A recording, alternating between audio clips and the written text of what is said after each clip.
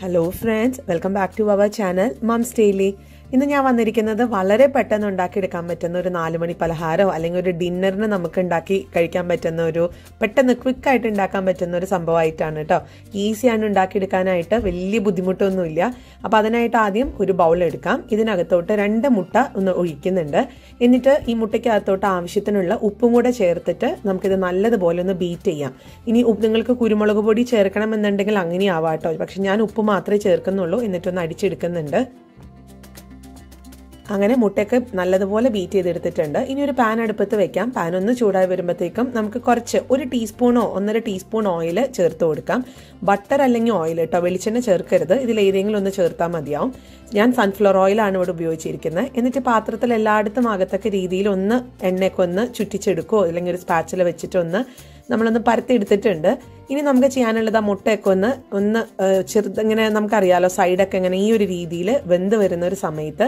എന്നാൽ മുകൾ ഭാഗം ഇച്ചിരി പച്ചയായിട്ടാണ് ഇരിക്കുന്നത്. പക്ഷേ ഈ ഒരു സമയത്താണ് നമ്മൾ ഇതിന്റെ മേലെ റൊട്ടിയോ ചപ്പാത്തിയോ അല്ലെങ്കിൽ റാപ്പോ ഞാനിവിടെ റാപ്പാണ് എടുത്തിരിക്കുന്നത്. ടോട്ടില്ല റാപ്പ് ഉണ്ടല്ലോ. അതിപ്പോൾ കടകളിൽ നിന്നൊക്കെ ഈസി ആയിട്ട് മേടിക്കാൻ കിട്ടും. നാട്ടിലൊക്കെ ആണെങ്കിൽ ചപ്പാത്തി ഉപയോഗിക്കാം. ഞാനിപ്പോൾ ഇവിടെ നമുക്ക് ടോട്ടില്ല റാപ്പാണ് കിട്ടിയിരിക്കുന്നത്. ഇതിന്റെ തന്നെ നമുക്ക് ഗോതമ്പിന്റെ ഒക്കെ വരുന്നുണ്ട് കേട്ടോ. ഞാനിന്നിപ്പോൾ ഇവിടെ ഗോതമ്പിന്റെ അല്ല എടുത്തിരിക്കുന്നത്. ഇനി നമുക്ക് ഇതിന്റെ മേലെ ഒന്ന് വെച്ചിട്ടുണ്ട്. ഇനി ഒരു സ്പാച്ചൽ വെച്ചിട്ട് ഇതൊന്ന് അമർത്തി കൊടുക്കാം. അപ്പം മുട്ടയുടെ ആ ഒരു ഇതിനകത്ത് അത് ഒട്ടിയിരുന്ന് നല്ല പെർഫെക്റ്റ് ആയിട്ട് തന്നെ വരും. ഇനി ഇടയ്ക്ക് ഒരു കുറച്ച് സമയം ഒന്ന് വെയിറ്റ് ചെയ്യാൻ നമുക്കറിയാമല്ലോ മുട്ടയൊക്കെ ഒന്ന് വെന്ത് വരുന്ന ഒരു സമയം. എന്നിട്ട് ഇതൊന്ന് തിരിച്ചിട്ട് കൊടുക്കണം. അപ്പം ഞാൻ ദാ തിരിച്ചിടുമ്പം നമ്മുടെ ഉള്ളിലോട്ട് കുറച്ച് അകത്തോട്ട് നമ്മുടെ ഈ ഒരു സ്പാച്ചിൽ വെച്ചിട്ട് നമ്മൾ തിരിച്ചിട്ട് കൊടുക്കുവാണെങ്കിൽ ഒട്ടും പൊട്ടാതെയൊക്കെ നമുക്ക് പെർഫെക്റ്റ് ആയിട്ട് കിട്ടും. ഇത്രയേ ഉള്ളൂ. ഇനി നമ്മൾ ഇതൊരു പ്ലേറ്റിനകത്തോട്ട് ഒന്ന് മാറ്റി വെക്കുകയാണ് ഇനി ഇതിനകത്തോട്ട് കുറച്ച് ഫില്ലിങ്സ് ഒക്കെ വെക്കുന്നുണ്ട്. അപ്പം ഞാൻ ഇതൊരു പ്ലേറ്റ് എടുത്തിട്ടുണ്ട്. ഇതിനകത്തോട്ട് ഇട്ട് കൊടുത്തു. ഇനി നമുക്ക് ഫില്ലിങ്സിനായിട്ട് ഞാനിവിടെ ഉപയോഗിക്കുന്നത് നിങ്ങൾക്ക് ഇഷ്ടമുള്ള പച്ചക്കറികളൊക്കെ ഉപയോഗിക്കാം കേട്ടോ നിങ്ങളുടെ വീട്ടിലിപ്പോൾ എന്താണ് അവൈലബിൾ ആയിട്ടുള്ളത്? അതൊക്കെ വെച്ച് കൊടുക്കാം. നമുക്ക് എന്താണ് പേഴ്സണലി ഇഷ്ടം എന്നുള്ളതനുസരിച്ച് വെച്ച് കൊടുക്കാം. ഞാനിപ്പോൾ ഇവിടെ കുറച്ച് ക്യൂക്കമ്പർ എടുത്തിട്ടുണ്ട്. പിന്നെ കുറച്ച് ക്യാരറ്റ് എടുത്തിട്ടുണ്ട്. രണ്ടോ മൂന്നോ കുഞ്ഞു തക്കാളിയാണ് എടുത്തിരിക്കുന്നത്. ചെറിയ തക്കാളി കിട്ടും. അതിന്റെ കുഞ്ഞ് അത് വളരെ കനം കുറഞ്ഞ് സ്ലൈസ് ചെയ്തിട്ടുണ്ട്. പിന്നെ ഞാൻ കുറച്ച് ചിക്കൻ ഒന്ന് നുള്ളി എടുത്തത് ചേർക്കുന്നുണ്ട്. ഇതൊന്നുമില്ല ഉപ്പും മഞ്ഞൾപ്പൊടി മുളക് പൊടിയും ഇച്ചിരി നാരങ്ങ നീരും ഒന്ന് തേച്ച് പിടിപ്പിച്ചിട്ട് ഞാൻ വറുത്തെടുത്തിട്ടുള്ള ചിക്കനാണ് അപ്പോൾ അതും കൂടെ വെച്ച് കൊടുക്കുന്നുണ്ട്. ഇപ്പോൾ വെജ് കഴിക്കുന്നവർക്ക് ഈ ഒരു സ്റ്റെപ്പ് ഒഴിവാക്കാവുന്നതാണ് കേട്ടോ. അതുപോലെ മുട്ട വേണ്ടാത്തവർക്ക് അങ്ങനെയും ചെയ്യാം. ഇനി ഇതിന്റെ മേലെ നിങ്ങൾക്ക് ഇഷ്ടമുള്ള സോസ് ഒഴിക്കാം. ഞാനിപ്പോൾ ഇവിടെ ഒഴിക്കുന്നത് ടൊമാറ്റോ കെച്ചപ്പ് ഒഴിക്കുന്നുണ്ട്. പിന്നെ കുറച്ച് മയനൈസ് ചേർക്കുന്നുണ്ട്.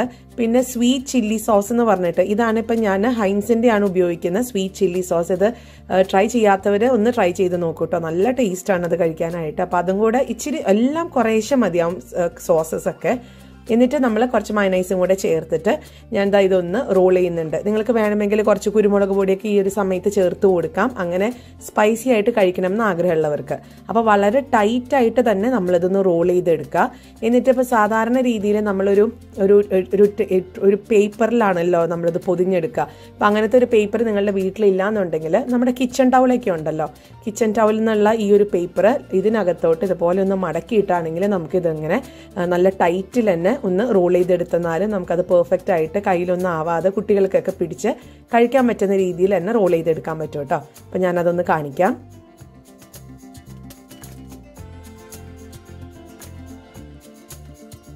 അങ്ങനെ നമ്മുടെ സിമ്പിൾ ആയിട്ടുള്ള റോൾ ഇവിടെ റെഡിയാണ് പക്ഷെ ഞാൻ ഇന്നിവിടെ നടുവേ മുറിച്ചിട്ടാണ് കുഞ്ഞുങ്ങൾക്കൊക്കെ കൊടുക്കുന്നത് കേട്ടോ. അവർക്ക് അങ്ങനെ കഴിക്കാനാണ് ഇഷ്ടം. കുറച്ചും കൂടെ കംഫർട്ടബിൾ അതാണ്. വളരെ ഈസി ആയിട്ട് വെറും അഞ്ച് മിനിറ്റ് മതി എന്ന് ഉണ്ടാക്കിയെടുക്കാനായിട്ട് പച്ചക്കറികളൊക്കെ ഒന്ന് അരിഞ്ഞെടുക്കണം. അതുപോലെ നമ്മുടെ വീട്ടിലെ ചപ്പാത്തിയോ റൊട്ടിയോ ടോട്ടല റാപ്പ് എന്തെങ്കിലും ഉണ്ടെങ്കിലും മതി. അത് വെച്ചിട്ട് നമുക്ക് വയറ് നിറച്ച് വളരെ ഫില്ലിംഗ് ആണ് വളരെ ഹെൽത്തി ആണ്. ഇതിനകത്ത് നമുക്ക് ഇഷ്ടമുള്ള വെജിറ്റബിൾസ് ഒക്കെ ചേർത്തിട്ട് ഉണ്ടാക്കിയെടുക്കാൻ പറ്റുന്നതാണ്. ട്രൈ ചെയ്ത് നോക്കുക. എങ്ങനെ ഉണ്ടായിരുന്നു എന്നുള്ളൊരു അഭിപ്രായം അറിയിക്കുക. അടുത്തൊരു വീഡിയോ ആയിട്ട് കാണാം. അന്റിൽ ദൻ ബൈ